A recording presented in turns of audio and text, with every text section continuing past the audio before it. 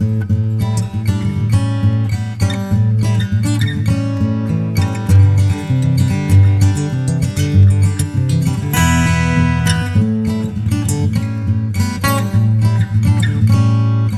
everyone, today um, I'm going to answer a question that I got on Facebook after I posted the last video about staying warm. Someone wanted to know how I stay cool.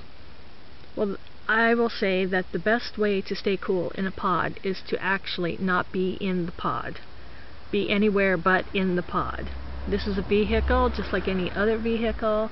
Um, you know, it gets really warm in here during the day. Um, right now, it's, you know, mid-afternoon, and I've got the windows open, so there's a little breeze going across the front of the pod. Um, in the late afternoon, the sun comes directly in the front window, so I've got a sunscreen across the front of the pod, which really reflects a lot of the light and the heat. The pod is is a light color. It's painted a light color, so that really makes a difference. It makes a difference as to whether your vehicle is hot or less hot. So, um, one of the best things that you can do if you've got one of these and you want to stay as cool as possible is park um, under some trees in the shade. So here where I am, I've got like four beautiful trees right here along the side. And across the street there are a couple of other shade trees and they make this really nice arc across the whole street. So there's some nice shade going on at this end of the block.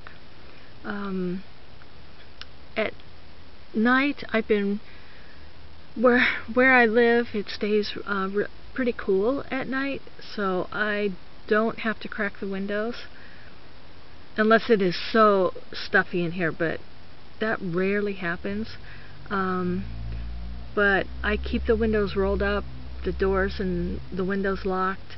Um, there are enough little cracks in here and there in the van that they, um, you know, some fresh air gets in during the night.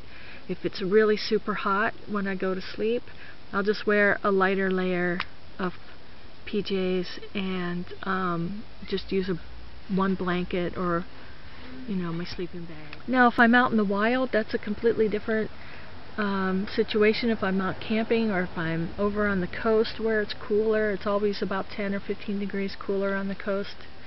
Um, you know, I can open the windows and and have the sliding door open and you know just you know really enjoy whatever weather is happening. Um, but here it's a little more stuffy. Um, which you know is okay. I've learned learned to deal with it, and uh, yeah, so you know it's an older car. It doesn't have air conditioning or anything like that, so you know it's just uh, that's just how I live. So anyway, I hope that solved another mystery, and um, I'll talk to you again. Leave your questions in the comments area down below, and I'll answer them in a future bid.